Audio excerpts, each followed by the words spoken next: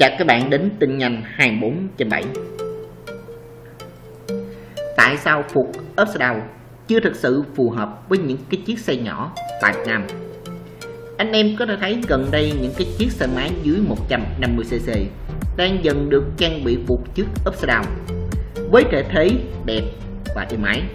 Theo mình nghĩ là phục này vẫn chưa thể phù hợp hơn với điều kiện di chuyển như ở Việt Nam. Một cây phục hành trình ngược, đẹp với cái phần ti lớn tạo ra cái độ chắc chắn êm ái khi hoạt động. Những cây phục Osral rất được anh em yêu thích. Thậm chí còn có rất nhiều biker đậu lên cây phục này cho cái chiếc second của mình. Không ai cũng nhận lợi thế một cây phục hành trình ngược. Tuy nhiên, điều đáng nói là với điều kiện hoạt động đa dạng như ở những cái chiếc xe máy Việt Nam, là phục này rất dễ gặp là hư hỏng như anh em cũng đã từng biết, xe máy ở Việt Nam phải hoạt động dưới nhiều địa hình khác nhau. Đường, đất đá, sình lầy, bụi bẩn. Chính những lý do này mà một cây phục ốc đào thường bị xì dầu. Cây phục ốc đào có cái ti phục thấp, rất dễ bị đá văng vào. Khi xe di chuyển và chỉ cần có một vết xước đủ lớn thì cây phục sẽ bị chảy dầu ngay lập tức và cần phải thay thế chính vì vậy, khi dùng loại phục này, người dùng phải cẩn thận rất nhiều. Cái chất lượng của phục cũng là một cái điều đáng nói khi nhắc đến cái độ bền lúc hoạt động. Với nhiều cái công nghệ và chi phí sản xuất, một cái phục hành trình ngược cao hơn nhiều cái phục ống lồng thông thường. Những cái chiếc xe máy chỉ có vài triệu đồng thì từ nhận sức bắt buộc là phải sử dụng những cây phục thường có chất lượng là không quá tốt để giảm đi giá thành và nói cho anh em dễ hiểu hơn những cây phục hành trình ngược trên những dòng phân khối lớn.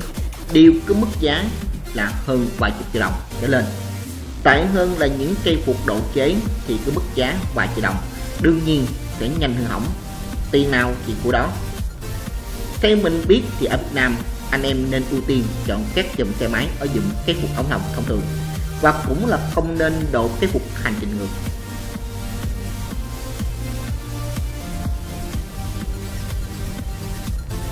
Honda CB 105R với cái sự lột xác tuyệt đỉnh phong cách carbon racer. Cái chiếc Honda CB 105R là một cái dòng xe thuộc cái dòng là nước cơ bài từ nhà Honda, với những chi tiết thể thao cùng với cái diện áo động cơ 150cc mạnh mẽ và đây là rất nhiều cái sự sâu đậm cho cộng đồng chơi xe, chưa dừng lại cái sự hầm hố kép độ dần dần sẽ ngày càng dày đặc. Và dẫn chứng là cái chiếc xe độ kiện dưới đây xem tổng thể ta thấy con chiến mã được khoét cho mình cái gam màu ngọc lam lạ mắt. Thiết kế này được người chủ chế nhựa lại với những chi tiết cấp cạnh hơn hàm mẫu hơn so với phần bản phía trước chó đen, hình tròn, mang cho mình cái kiểu dáng cổ điển.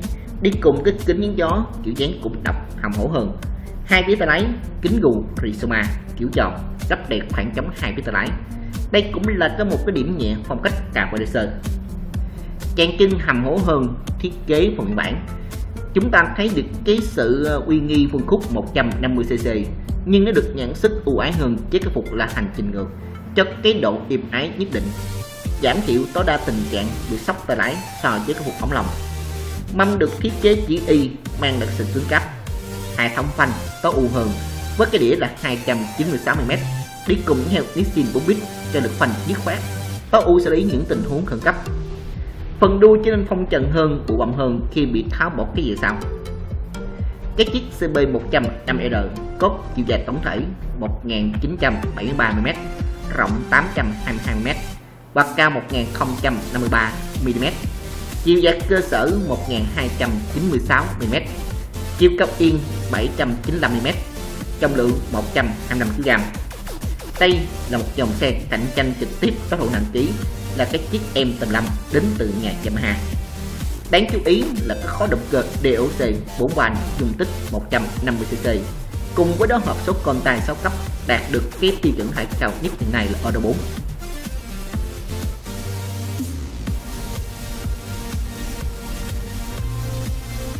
Cảm ơn các bạn đã theo dõi clip này. Đừng tiếp nhớ like, subscribe.